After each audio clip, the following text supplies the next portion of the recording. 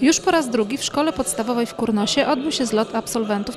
Frekwencja dopisała, bo przyjechało ponad 150 byłych uczniów tej placówki. Nie obyło się jednak bez przygód. Podczas występu nagle zgasło światło. Awaria okazała się na tyle poważna, że trzeba było ponad godzinę bawić się przy świetle świec. O atmosferę zadbały jednak kurnosianki, które z tej roli wywiązały się znakomicie.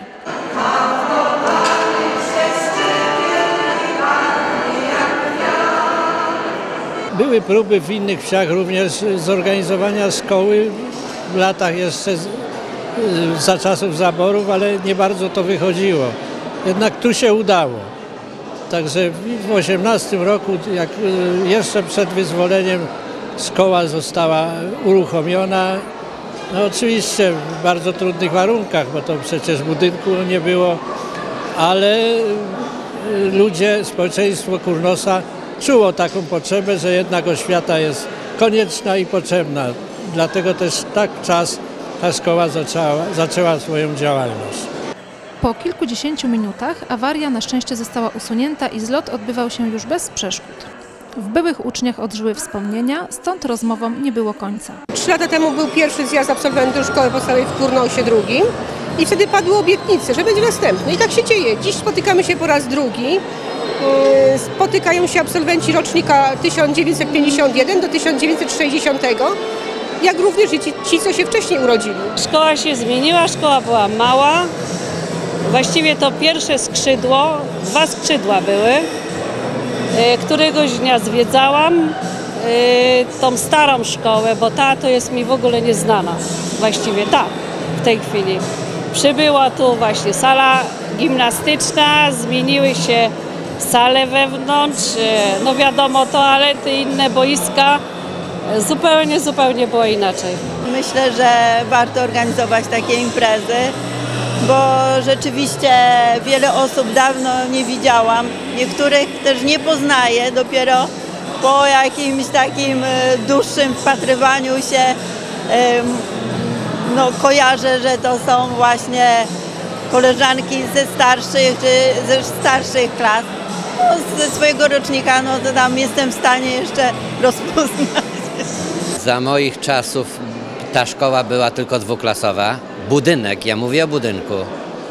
Dwie klasy były wypożyczane, dwie, dwie izby szkolne były wypożyczane yy, w budynku Brantów.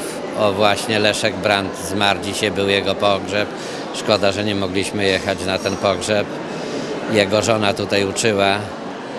Yy, No i y, to był jeden, jedyny y, y, y, budynek, dwie klasy. Bardzo często uczyliśmy się po dwie klasy w jednej izbie. Bardzo często.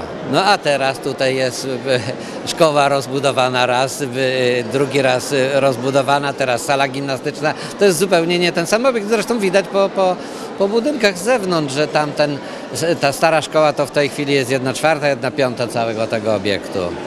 Yy, rozwija się to bardzo dobrze. Nie dobrze, a bardzo dobrze.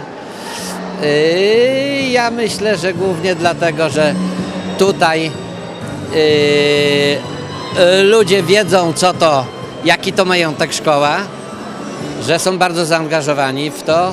No, szkołą zarządzają, uczą już absolwenci tej szkoły czyli pokolenie po pokoleniu zostaje, także to jest rozbudowane, bardzo dobra szkoła. Według mnie może być przykładem y, zarówno w, budownictwie, jak i w działalności dla innych szkół.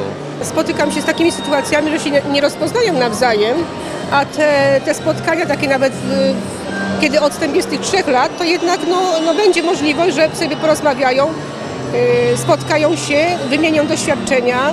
Przede wszystkim z łezką wokół powspominają dawne czasy. Przepracowałam e, w szkole 37 lat, a teraz jestem na emeryturze. Przy okazji tego zjazdu absolwentów spotkała Pani jakichś swoich wychowanków? O, bez przerwy przychodzą z życzeniami, z podziękowaniami. Bardzo miło. Z kwiatami nawet. Grzeczni byli, jak Pani ich uczyła? Różnie to bywało. Ale dzisiaj wszyscy grzecznie. O, dzisiaj wspaniale. Łezka się gdzieś tam wokół zakręciła. Być może. Być może. Jak pani wspomina tą szkołę? Bardzo miło, bardzo miło. Gdyby nie wiek, to chętnie bym wróciła. Bardzo chętnie, chociaż nie jestem już z tej epoki. Młodzież in, inna niż kiedyś. Kiedyś szłam do szkoły z przyjemnością.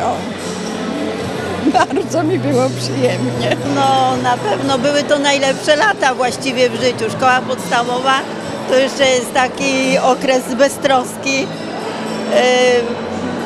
bardzo dobrze wspominam szkołę podstawową. I tu właśnie w tym środowisku wiejskim było to rzeczywiście takie, yy, takie, takie rodzinne. Tu nie było jakiejś rywalizacji takiej, żeby tam yy, pośród nas, tylko żeśmy się wszyscy znali już właściwie od dziecka. Także yy, szkoła to